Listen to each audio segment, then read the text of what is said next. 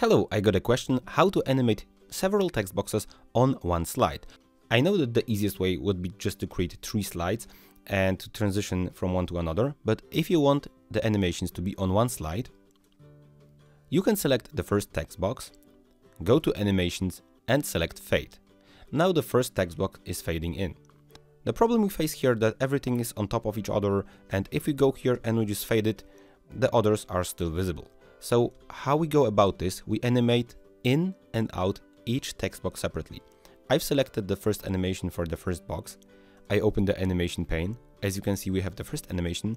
And now I select add animation and I simply add an exit animation. I will again select a fade. So now this first animation is animating in with the green animation and animating out with the red animation.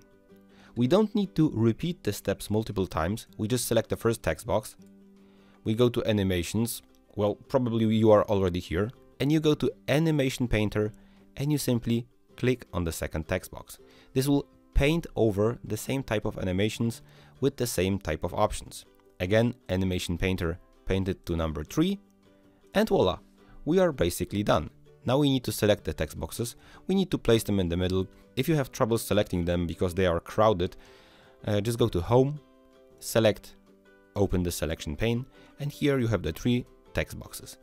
The selection pane is on the Windows version since like 2010 or something like that, so you should have this feature available. Now, if I start this presentation, as I click my mouse first time, I see the first text, and as I click the second time, it will simply disappear.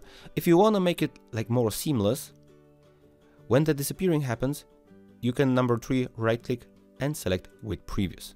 So I will not even have to click between those animations. Again with previous here, look what happens. I click the first time, so the first text appears, and as I click the second time, it disappears and the next text appears. This is how you would animate several text boxes on one slide. If you want to learn a more PowerPoint with me, you know where to find me on my YouTube channel and below you have several links which can lead you to my online PowerPoint courses. Thank you very much for listening to this tutorial and I hope this was a bit insightful.